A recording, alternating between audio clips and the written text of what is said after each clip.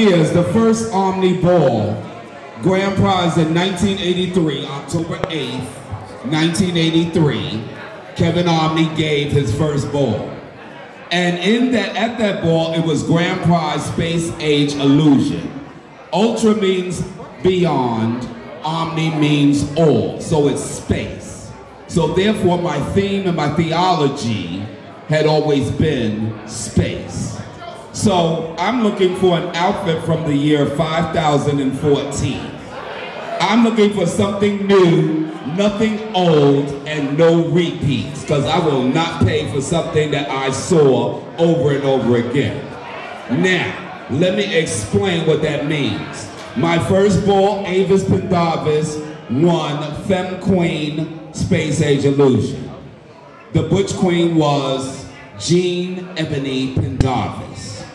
The next year, Paris Dupree came out in a bubble. Danny Extravaganza won for Butch Queen, Space Age, Futuristic, and Paris Dupree won for Femme Queen. Then the next one that won that category was Eric Bazaar. So I've seen Eric Bazaar's outfits. I've seen also Ross Infinity won at Mia Willi Ninja's Ball in 2005.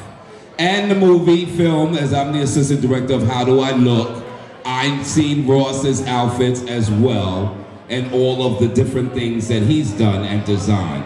So, Terry Milan came out in a bubble at the Red Zone in 1990. Miss Avis won and she came out as Miss She-Ra with Marcel Christian and Gerald Dupree LaBeija.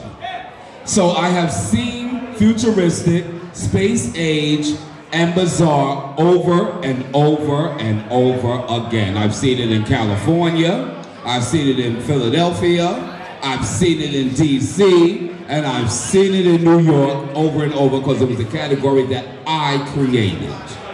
So if you come up here tonight with something that I've seen before, you will not get these coins. I want a new effect. Nothing seen or done before. You should have done your research. So after Designers Delight, Grand Prize, and then the next will be We'll have a small break for second half, and then the first category coming up will be in honor of Avis, Pepper, Dorian, Anya Diamond, and all of those who really have talent.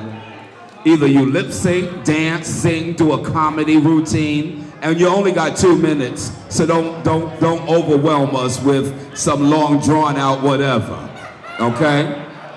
So again, I hope you hear me. I hope you understand I'm speaking with verisimilitude and not intestinal fortitude. Should I reiterate?